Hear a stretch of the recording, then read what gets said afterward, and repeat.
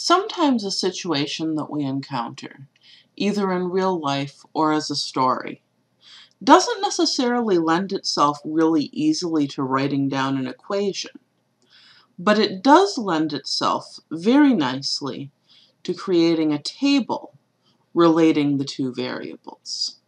Here's an example. Suppose a pizza chain has a promotion in which they charge $12 for the first pizza and $5 for each additional pizza. What are our two variables here? Well, the first variable is how many pizzas we buy, and the second variable is how much money we have to pay. And I'll be specific and say that we're going to measure the money in dollars. Now looking at this story, I think that the normal way to understand it is that we choose how many pizzas to buy and observe how much it costs. That means that the number of pizzas will be our independent variable and the amount of money we pay will be our dependent variable. This relationship is most easily shown in a table. Why? Well, in the story, it tells us that if we buy one pizza, we pay $12. And then it says we pay $5 for each additional pizza. So if we buy a second pizza, we'll add $5 to what we paid before.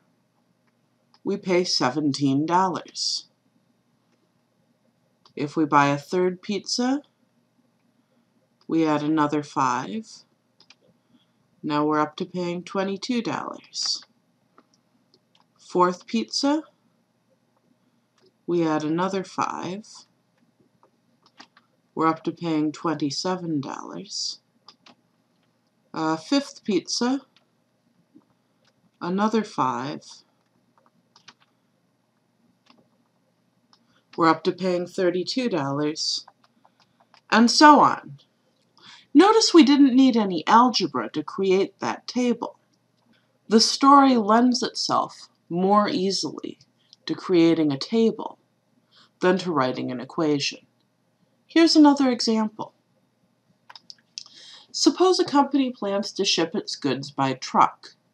They estimate it'll cost 35,000 just to get the trucks, plus an extra thousand for every three tons of goods they ship.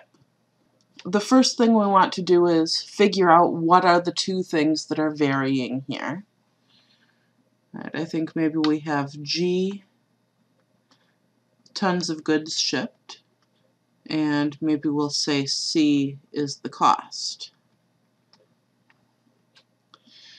Uh, the most logical thing to do here, I think, is to choose how many tons of goods we'll ship, and then observe the resulting cost. Therefore, the tons of goods shipped will be independent, and the cost will be dependent. Again, this lends itself well to making a table. Oh, rather than fill in a whole bunch of zeros, I'm going to say cost in thousands of dollars. So even if they don't ship any goods, it costs them $35,000 just to get the trucks. Then, for every three tons of goods they ship, it costs them an extra $1,000. So, if they ship another three tons,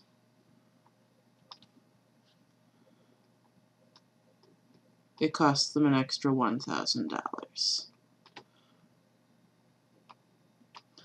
Each time we add 3 to the number of tons of goods, we add 1 to the cost.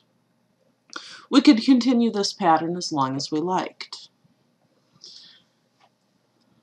Now, obviously, in this story, if we wanted to find out how much it would cost them to ship, say, 27,000 tons of goods,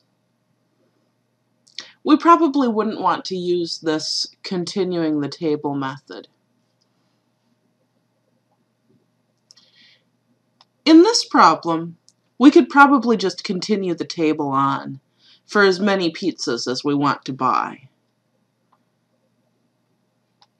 In this problem, however, we might want to have a more sophisticated way of getting to fairly large values of g.